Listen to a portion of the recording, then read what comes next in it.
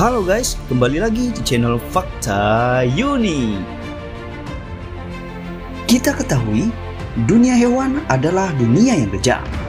Aksi saling memangsa di dunia hewan setiap harinya terjadi. Aksi kejar-kejaran, saling gigit, dan saling terkam antara hewan merupakan hal yang lumrah dan tidak aneh. Adalah marten merupakan salah satu hewan karnivora yang masih berkerabat dengan musang.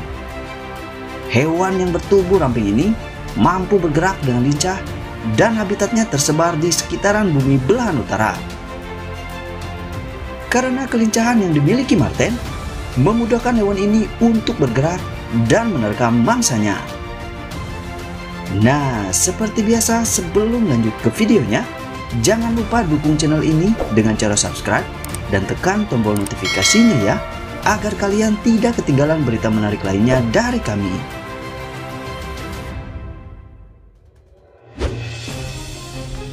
Marten versus monyet.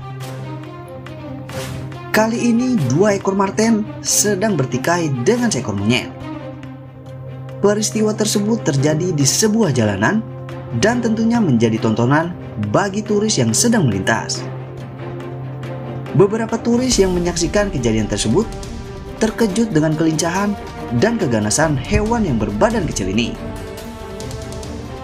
Terlihat di dalam video si Martin terus menyerang si monyet hingga membuat monyet tersebut jatuh oleh serangan yang diberikan oleh si Martin. Awalnya si Martin ingin membawa monyet itu ke tepian jalan, namun pemberontakan yang dilakukan oleh monyet ini membawanya ke tengah jalan kembali. Namun Martin tersebut tak tinggal diam. Ia terus menggigit monyet itu hingga salah satu Martin membantunya.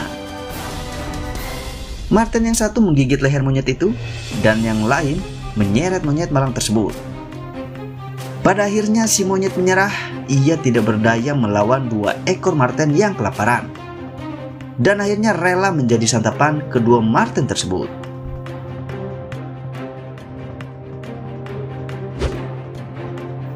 Marten versus kelinci. Perkelahian yang dilakukan oleh kedua hewan ini tak memperdulikan jika cuaca sedang bersalju. Marten terus menggigit bagian punggung kelinci hingga terus mendapat pemberontakan dari si kelinci. Namun tak berselang lama tiba-tiba kedua hewan ini melepaskan perkelahiannya tersebut hingga membuat keduanya berlari ke arah berlainan. Namun, ketika kelinci tersebut melarikan diri, secara tiba-tiba kelinci tersebut kembali ke jalanan salju dan membuat Martin menghampirinya kembali dan memangsa si kelinci malang itu. Tak mau melepaskan mangsanya kedua kali, Martin mengunci kelinci itu di bawah agar tidak melarikan diri lagi. Hingga akhirnya Martin tersebut menggigit leher kelinci dan membuat kelinci itu terus memberontak. Namun gigitan Martin tersebut semakin kuat sehingga membuat kelinci tersebut menjadi lemas dan tak berdaya.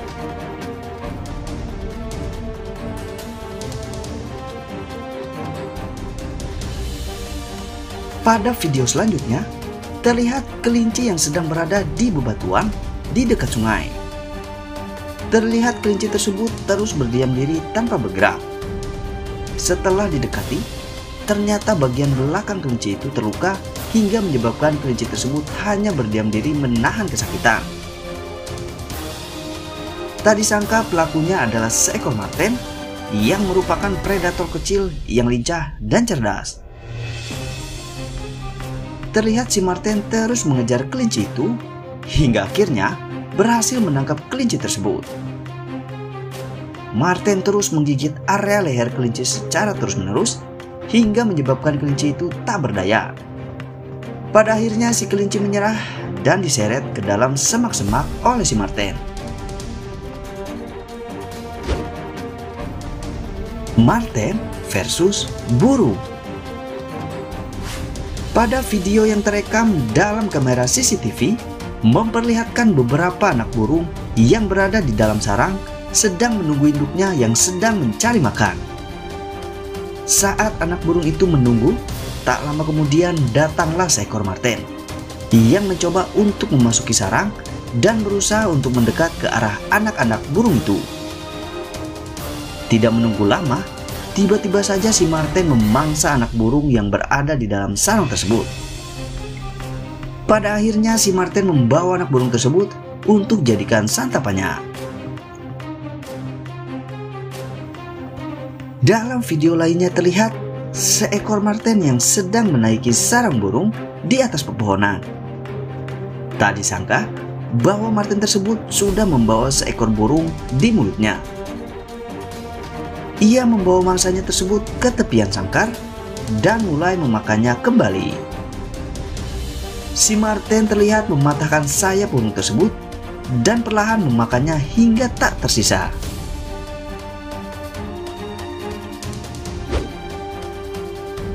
Marten versus tupai. Kali ini seekor tupai menjadi mangsa seekor marten.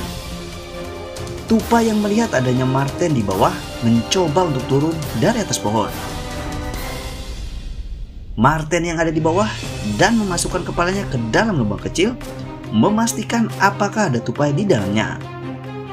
Namun ternyata tidak ada hingga akhirnya membuat marten itu mengeluarkan kepalanya dari lubang tersebut. Berulang kali si Martin memasukkan kembali kepalanya ke lubang tersebut karena ia merasa ada yang bergerak di dalam lubang itu. Benar saja, akhirnya si Martin tersebut mendapatkan seekor bayi tupai dari lubang itu dan segera membawanya pergi. Di video lainnya terlihat kejar-kejaran antara Martin dengan seekor tupai.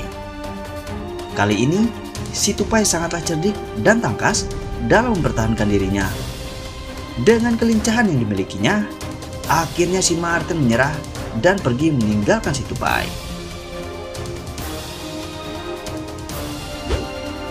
Martin versus rusa. Di dalam video terlihat seekor marten yang menangkap seekor anak rusa dengan membawanya terjun ke bawah. Martin tersebut berusaha menggigit bagian leher anak rusa itu, namun pemberontakan yang diberikan oleh si anak rusa membuat Martin tersebut melepaskannya. Namun terlihat si Martin sangatlah ganas, ia menggigit anak rusa itu dan menyeretnya ke sana kemari. Terlihat juga induk rusa yang berada di atas, ia hanya bisa melihat dan tak mampu menolong anaknya. Melihat anaknya sudah tak berdaya, Akhirnya si induk rusa pergi untuk menyelamatkan dirinya.